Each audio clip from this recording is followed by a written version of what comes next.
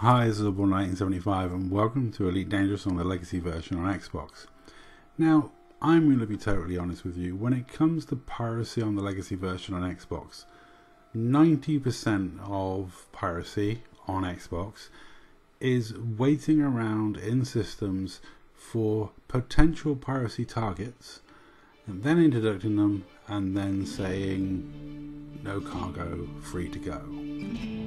Uh, the main skills required to do piracy on Xbox is be able to type a competent message and uh, interdict someone and then type a message saying no cargo, free to go.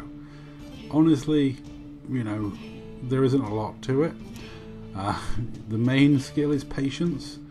I mean, even if you get someone with cargo, the main thing is to try and get your demand out before they run away. And if they don't stop when you've already asked them to stop, you know, that's pretty much it. Uh, this person, you know, did say, you know, he hasn't got anything, and I pointed out, well, he had nothing to fear from me. I just want to check.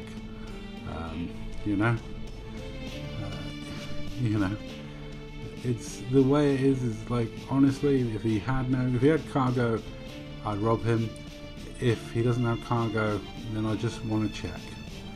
Um, and it was a nice back and forth, and I thought I'd bring it to you. But 90% of piracy on Elite Dangerous on Legacy version is me checking people for cargo. The amount of abusive messages I get from people in small ships like Vipers and Cobras and things like that saying, I'm only in a Viper, why are you checking? If you didn't know, the Viper can carry cargo racks, the same as any other ship in the game.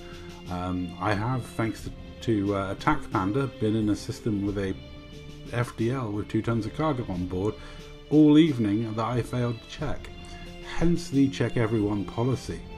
Um, you really can't judge a book by its cover. The only way to tell if someone's got cargo is to interdict them and fire a hatchbreaker into them or scan them. And uh, I really need to uh, get these batteries that last longer because I constantly get that message come up in videos these days. And I always get a few comments pointing out that my batteries are running low. Um, yeah. Uh, I do play a lot and I have three sets of chargeable battery, rechargeable batteries that I rotate between. Um, I have two new ones and one old one that's uh, probably not the longest life.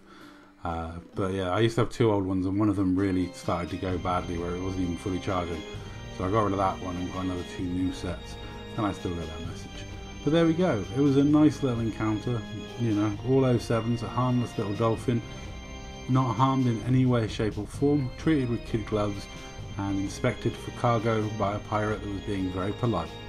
And that is 90% of my piracy encounters on Elite Dangerous. And that's all. Thank you very much for watching. I'll catch you in the next one.